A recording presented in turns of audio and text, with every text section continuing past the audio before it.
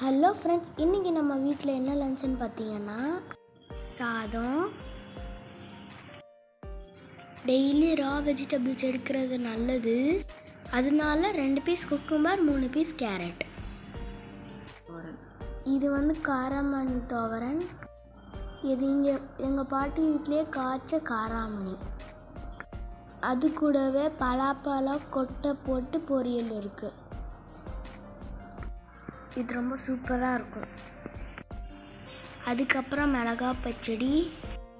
அதுக்கப்புறம் என் ஃபேவரட் பருப்பு குழம்பு. பருப்புனாலே கண்டிப்பாக நெய் ஊற்றுவேன்